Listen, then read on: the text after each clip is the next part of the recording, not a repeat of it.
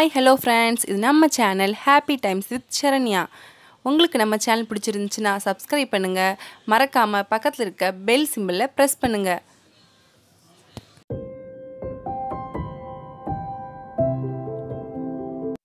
Okay friends இன்றைக்கி நம்ம பார்க்க போகிறது ஸ்கின் ஒயிட்னிங் க்ளோயிங்க்காக யூஸ் பண்ணுற இந்த பப்பாயா ஃபேஸ் பேக்கை பற்றி தான்.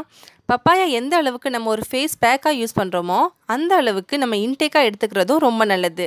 பப்பாயாவில் விட்டமின் சி இருக்குது அதை நம்ம ஸ்கின்னை ரொம்ப க்ளோவாக வச்சுக்கிறதுக்கு யூஸ் ஆகுது. நம்ம ஸ்கின்னை ஹெல்த்தியாக வச்சுக்கணுன்னா இன்னொரு முக்கியமான விஷயம் நம்ம அதிகமாக தண்ணி குடிக்கணும். ஓகே ஃப்ரெண்ட்ஸ் வாங்க வீடியோக்குள்ளே போகலாம்.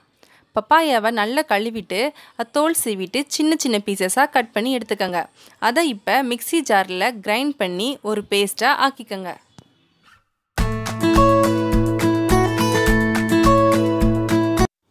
இந்த ஃபேஸ் பேக் ஆயில் ஸ்கின் டைப்க்கு ரொம்ப நல்லது. பிம்பிள்ஸ் வந்திருந்தா கூட அந்த மார்க்ஸ்லாம் மறையிறதுக்கு கூட இதை யூஸ் பண்ணலாம்.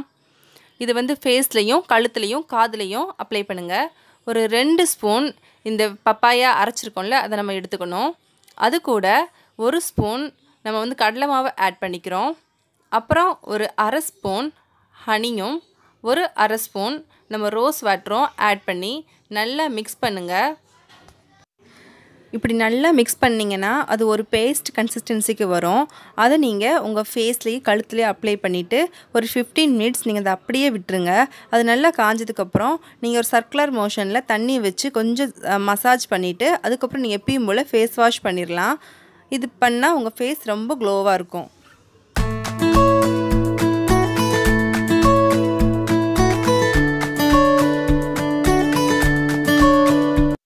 இப்போ நான் பப்பாயா பேஸ்ட் ஒரு ஸ்பூனும் முல்தானி மெட்டி பவுடர் ஒரு ஸ்பூனும் எடுத்திருக்கேன்.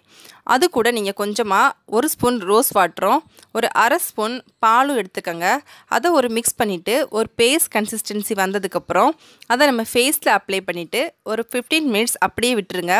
அது காஞ்சதுக்கப்புறம் சர்க்குலர் மோஷனில் தேய்ச்சிட்டு அதுக்கப்புறம் நீங்கள் தண்ணியால் உங்கள் ஃபேஸை வாஷ் பண்ணி எடுத்துக்கோங்க. இந்த ஃபேஸ் பேக்கை நீங்கள் வாரத்துக்கு ரெண்டு டைம் நீங்கள் ட்ரை பண்ணலாம். தொடர்ந்து நீங்கள் ட்ரை பண்ணிட்டே இருந்தீங்கன்னா கண்டிப்பாக உங்கள் ஃபேஸில் நல்ல ஒரு பிரைட்னஸும் நல்ல ஒரு க்ளோவிங் கண்டிப்பாக கிடைக்கும். எந்த ஒரு ஃபேஸ் பேக் போடுறதுக்கு முன்னாடியும் ஒரு சின்னதாக பேட்ச் டெஸ்ட் பண்ணி பார்த்துட்டு அதுக்கப்புறம் யூஸ் பண்ண ஆரம்பிங்க. ஏன்னா இதாவது ஸ்கின் அலர்ஜி ஏதாவது நமக்கு வருதான்னு அப்போ தான் தெரியும். என்னை பொறுத்த வரைக்கும் இது எந்த வித ஸ்கின் அலர்ஜி எதுவுமே ஏற்படுத்தாது. ஏன்னா நம்ம ஆட் பண்ணியிருக்க எல்லாமே நேச்சுரலான ஒரு இன்க்ரீடியன்ஸ் தான். நீங்கள் அரைக்கும் போது பப்பாயா கூட தண்ணி எதுவுமே சேர்க்காமல் அரைச்சிக்கோங்க. கண்டிப்பாக நீங்கள் ரெகுலராக யூஸ் பண்ணிட்டு வந்தீங்கன்னா க்ளோவிங் அண்ட் சாஃப்ட் ஸ்கின் கண்டிப்பாக உங்களுக்கு கிடைக்கும். முகப்பரு தழும்பு கரும்புள்ளி எது இருந்தாலும் கண்டிப்பாக மறைஞ்சு போயிடும் ஓகே ஃப்ரெண்ட்ஸ் உங்களுக்கு இந்த வீடியோ பிடிச்சிருந்துச்சுன்னா லைக் பண்ணுங்கள் ஷேர் பண்ணுங்கள் மறக்காமல் சப்ஸ்கிரைப் பண்ணுங்கள் பக்கத்தில் இருக்க பெல் பட்டனை கிளிக் பண்ணுங்கள்